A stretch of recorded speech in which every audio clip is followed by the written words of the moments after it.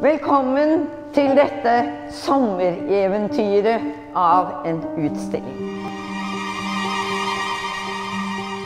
Hvert rom i denne utstillingen har sitt eh, tema. Og dette er jo egentlig bohemenes rom, og jeg føler meg veldig hjemme her.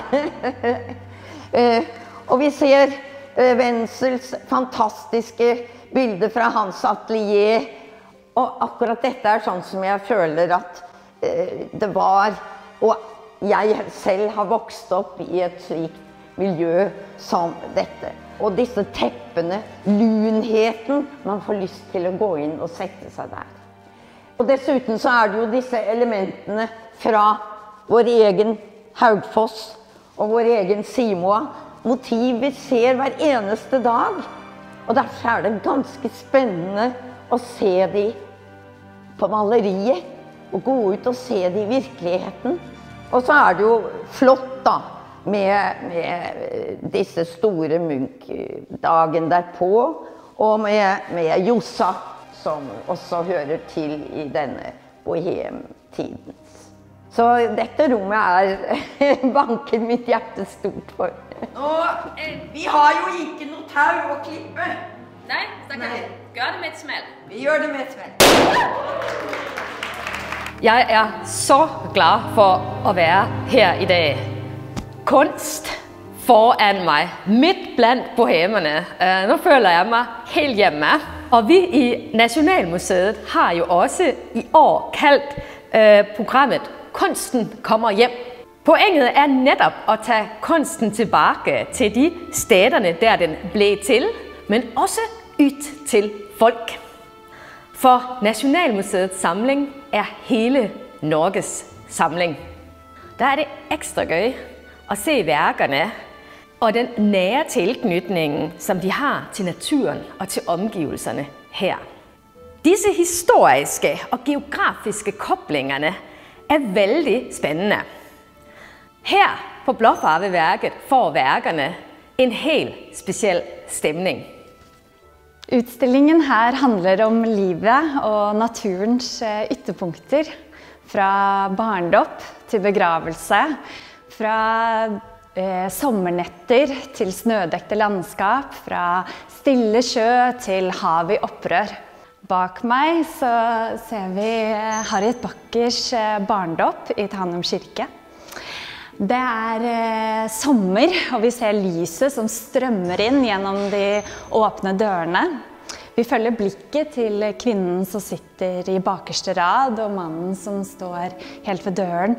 Så, så blikket vårt føres ut gjennom disse dørene, hvor vi møter da dåpsbarnet som kommer inn. Fra barnedåp til begravelse om bord. Her ser vi et maleri malt av Carlsen Tansen som viser en begravelse til sjøs. Dette bildet har fascinert meg lenge, fordi det både er en realistisk skildring av en hendelse, altså denne begravelsen om bord, hvor kapteinen har dødd. og Eh, det har vært eh, heist opp signalflagg og, og, varslet vi trenger legehjelp, vi trenger assistanse. Og hvordan denne kunstneren har virkelig gått dypt til verks. Han har bygget et skipsdekk i hagen, han har hyret inn sjøfolk, altså norske og danske sjøfolk. Alt for å da skape en så realistisk skildring som mulig. Det er også et veldig tidsaktuelt bilde. Poeten Holger Drachmann han eh, skrev et dikt basert på dette maleriet noen år etter. Det handler om et virus som sprer seg om bord, og hele spørsmålet er da hvem blir den neste? Og det jo, skaper jo litt sånn ekstra uhygge i motivet. For ikke bare sørger de over sin døde kaptein, men de er også nervøse på er jeg den neste?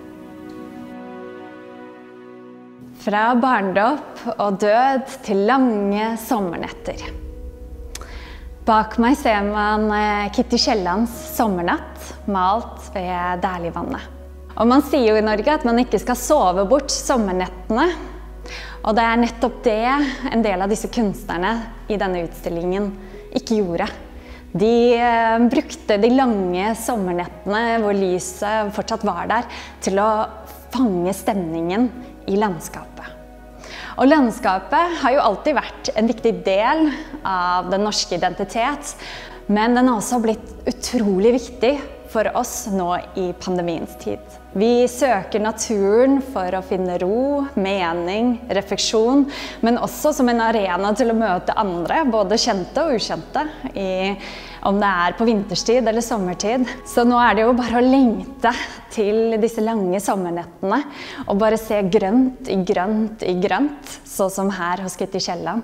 Og se lyset som faller ned og reflekteres i vannet. Her er det jo bare idyll. Er det ikke herlig?